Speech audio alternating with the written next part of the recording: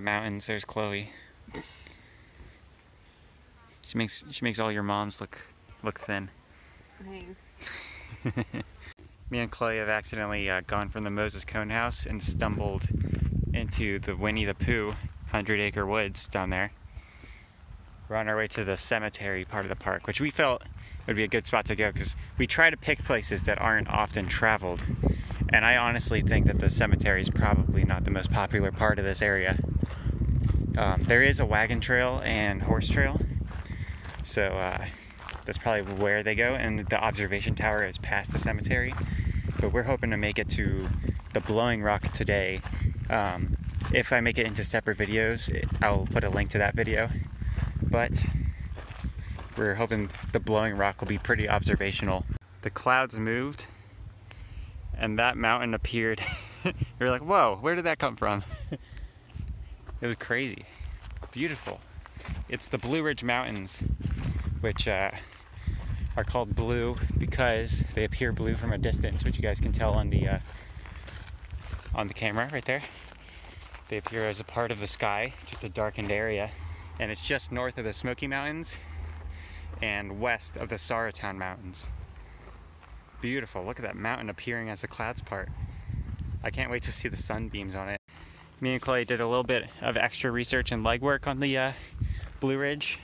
Thanks, Chloe, for doing the research. It's my but job. it is her job. Look at those flowers. But um, the plants here release a chemical called isoprene, which is which is a hydrocarbon that they release to protect them from harsh sunlight, which is pretty cool because typically you don't imagine plants needing protection from sunlight. But I suppose the species on the Blue Ridge section of the Appalachians can't handle particularly intense sunlight, which is kind of neat. We're at the Moses Cone House, a uh, wealthy textile guy. Should probably right here. oh, the information's right here. I'll read it to you guys while I show you the view. The house is under renovation right now, but it looks beautiful. Here, here, here's a picture of it. There, there you go. That's what it looks like when it's not under renovation. There, there you go. That's what it looks like when it's not under renovation. And uh, and it, it, it, yeah, I got it. I got it right. I got the information right when I said it off the top of my head. Moses Cone's house was donated to the Park Service, and it was um, gifted because he was a conservationist and he was a wealthy textile merchant. He made his fortunes in North Carolina, which is a major textile hub even today, although it's gone down over the years. We have emerged from a wooded grotto and we have found the cemetery. And I think this tree is beautiful. It's covered in lichen and it's very characteristic of a cemetery. We're, we're on the land and in the house of the people who once lived here and were so gracious to share this place with us. This is Moses Cone Cemetery. There's, let's see here.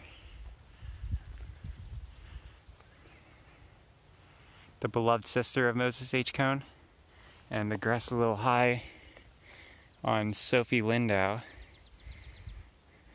And then the big one is Bertha Lindau Joan Cone, and then Moses H. Cone.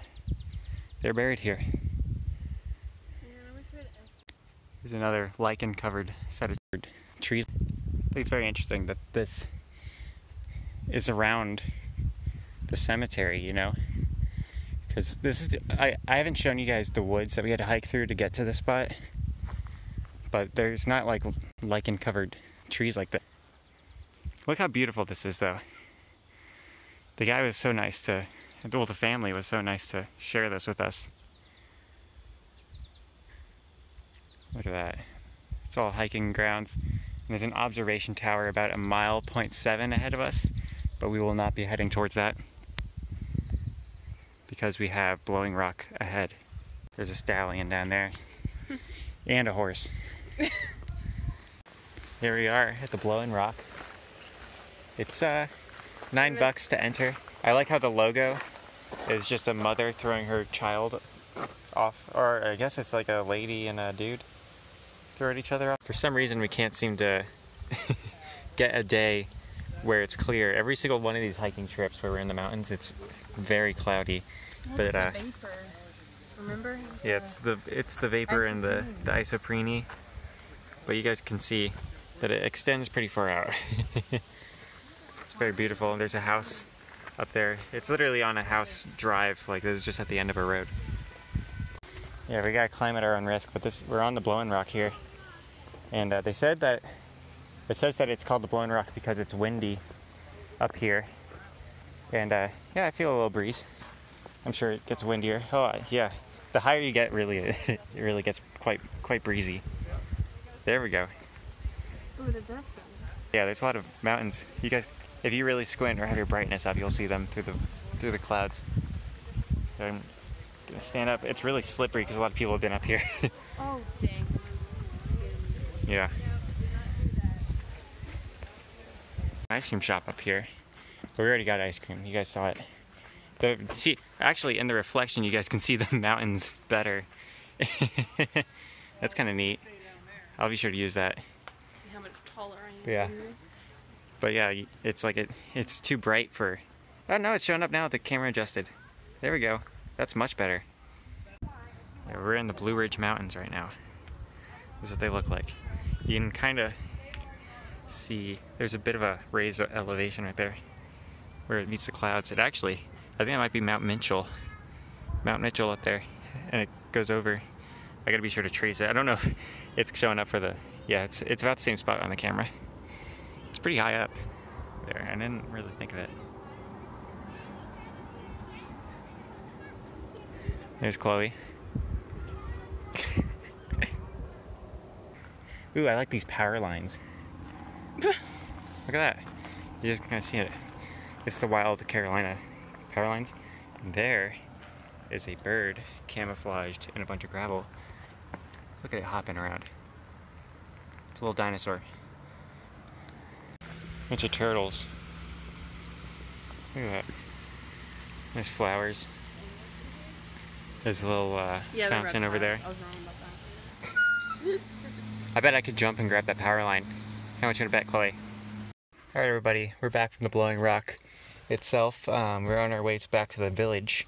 Uh, if you guys come here, the drive is beautiful. The village is nice. Uh, parking's a little thing, a little bit of a pain, and it gets crowded. The Moses Cone Park was nicer, personally. Um, and it's the Moses Cone Park's free. It's got miles and miles of park, and there's the old house. It's got history, and you can walk around the Blowing Rock town, which I highly recommend. There's a lot of the. I was kind of turned off at first because of the how crowded it was, and I like to go places that are a little more I like unused, but the people there are so nice. And I met a nice guy who was handing out ice cream.